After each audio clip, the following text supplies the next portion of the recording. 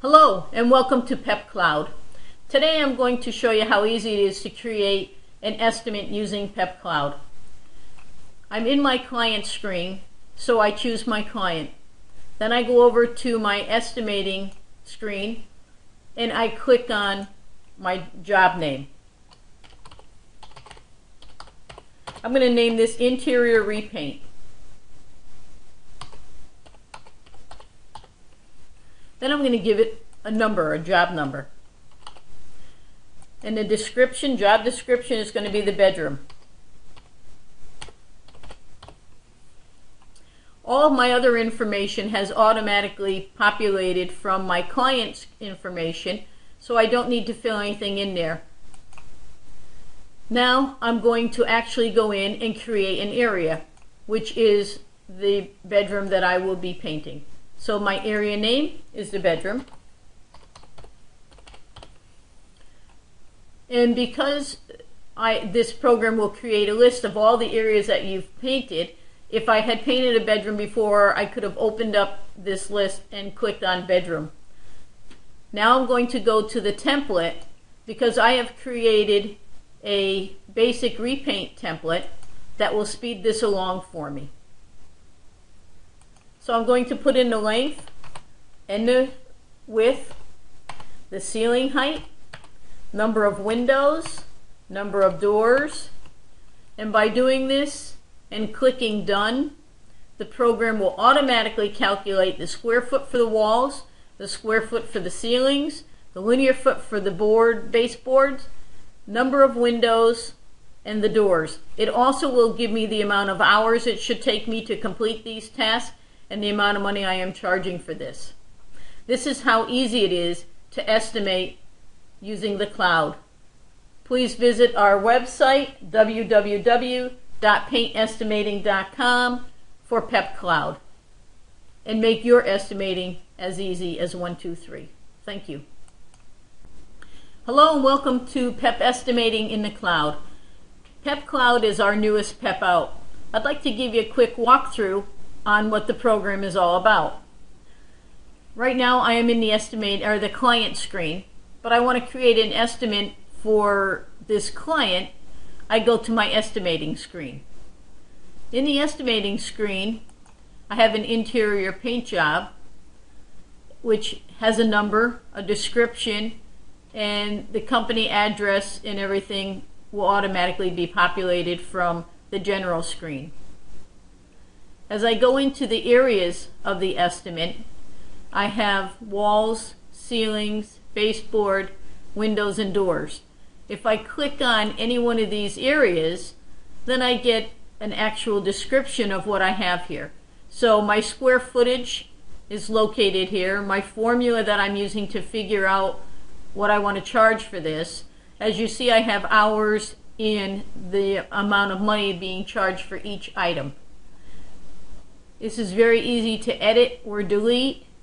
And to create a new item, all I do is click on the new item button and fill in the information. I also have different areas. So as I have different areas, each area could be done the same way. And if you, again, click on any line item in this area, it will explain the details to you.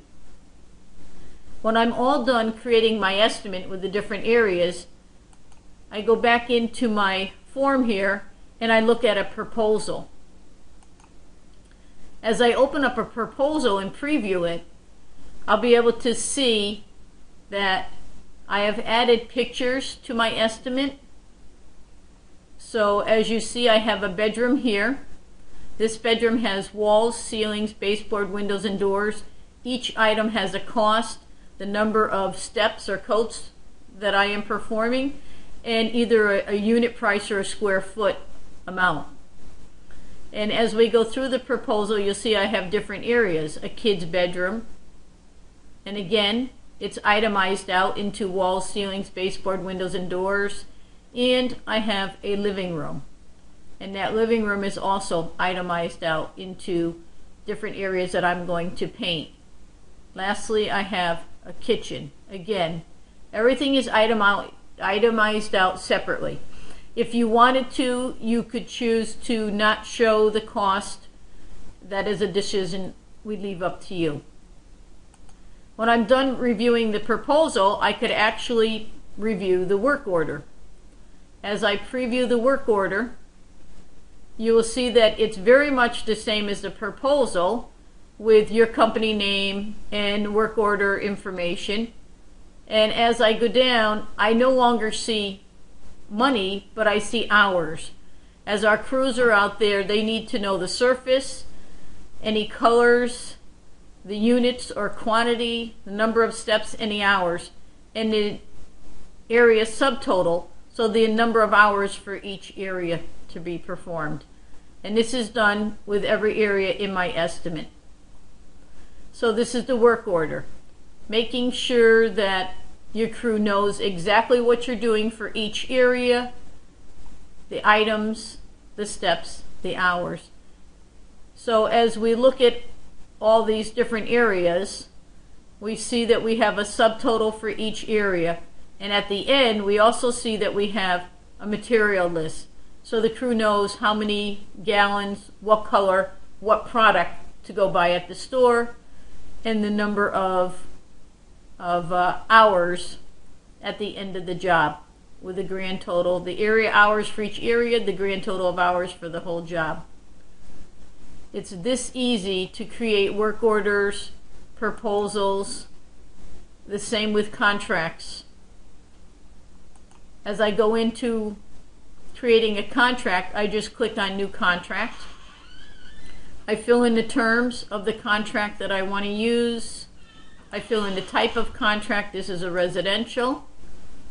And when that's done, I am able to view my contract. As it populates here and I open up the contract form, you'll see that the contract lays out labor, tax, material, and grand total. It also has specifications, preparation notes, telling you surfaces, and uh, explaining anything you want to explain to your client, whether it's warranties, work standards, customer responsibility, change orders, whatever it is. You also have the ability here to sign and with a cancellation notice here. If they accept the proposal, they sign it and date it and send it back to you. That is a quick look at PEP in the Cloud. Please visit our website at www.paintestimating.com for more information. Thank you very much.